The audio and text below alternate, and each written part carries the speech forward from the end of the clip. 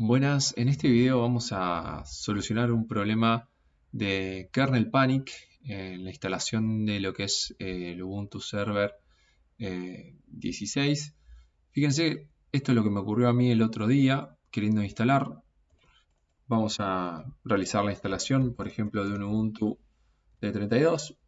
y Vamos a, ir creando la máquina virtual, le pongo Ubuntu32, un Linux de 32 y tomando las recomendaciones del VirtualBox, tamaño de memoria de 1 GB.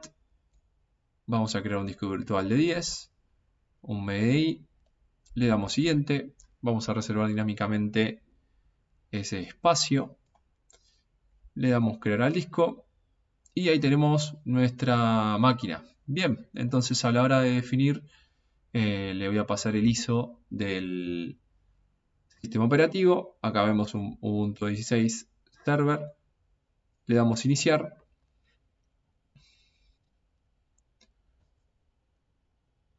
Bien, elegimos el idioma, entonces en este caso español, vamos a darle instalar. Y nos encontramos con este problema. Kernel panic. Noticing attempted to kill the idle task.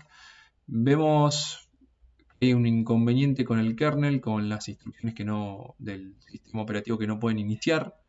Eh, y buscando en foros encontré la solución. Al ser un sistema operativo, vamos a apagar la máquina, al ser un sistema operativo eh, orientado a servicios, un servidor, necesitamos eh, obviamente mayor cantidad de procesamiento. Entonces lo que vamos a hacer es ir a configuración, vamos a ir a sistema, al procesador, y en este caso eh, seleccionar dos CPUs para utilizar en, esta, en este sistema operativo.